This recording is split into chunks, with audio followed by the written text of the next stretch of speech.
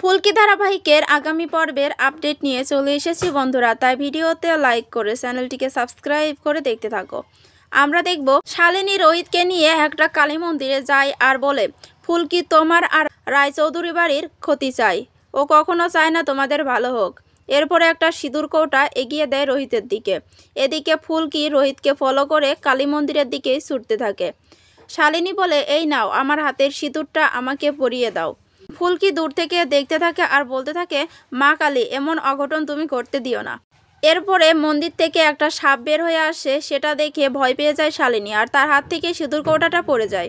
এরপরে ফুলকি ভাবে হয়তো সাপে রোহিতকে কামড় দেবে, তাই সে রোহিতকে বাঁচানোর জন্য হাত দেয়, তখন সাপে ফুলকির হাতে কামড় দেয়। ফুলকি অজ্ঞান হয়ে মাটিতে পড়ে যায়, তখন রোহিত ফুলকি বলে চিৎকার করে ওঠে। তো বন্ধুরা, কেমন লাগল? কমেন্টে জানিয়ে দেবে। নিয়মিত আপডেট পেতে আমাদের সাথেই থাকো। ধন্যবাদ।